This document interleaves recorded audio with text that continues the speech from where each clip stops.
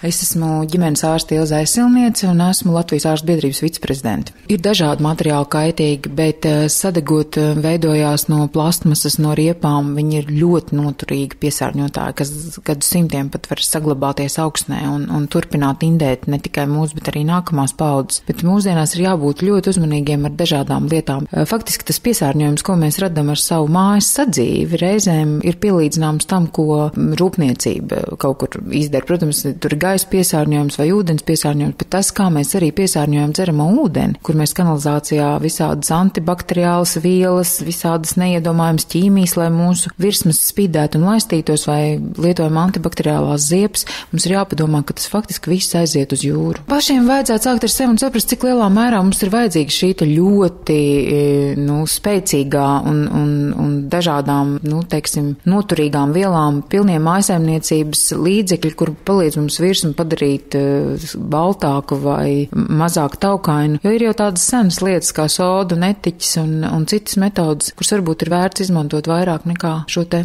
ķīmiju. Tagad jau viss notiek pareizi, kad lielā tauka tiek organizēta, tas ir viena lieta ir skaidra, ka atkritumi tiks izvesti. Jo vienmēr, kad mēs arī kaut kur citreiz domājam talkot, cilvēks sanāk kopā grib talkot, ir tomēr jādomā par to, kas notiks ar tiem atkritumiem, kad viņi tiks savākti, jo nav jēga vienkārši savākt atkritumus. Bet es domāju, lielajā talkā vajag vairāk sāk domāt ne tikai par atkritumu savākšanu, bet par to, kā mēs varam paši rīkoties, lai mazāk atkritumu pēc mums veidojās, un kā mēs varam eh, sadarboties ar saviem draugiem, kaimiņiem, iedzīvotājiem mūsu apkaimē, un mēģināt arī viņus tā kā pārliecināt par to, ka atkritumi ir ļoti nopietna lieta, un viņu izvešana un apsaimniekošana ir jāmaksā. Mēs nedrīkstam atkritumus aizvest kaut kur. Būtībā atkritumi, kas nonāk upē vai mežā vai dīķos vai ezerā, viņi kļūst daudz bīstamāki.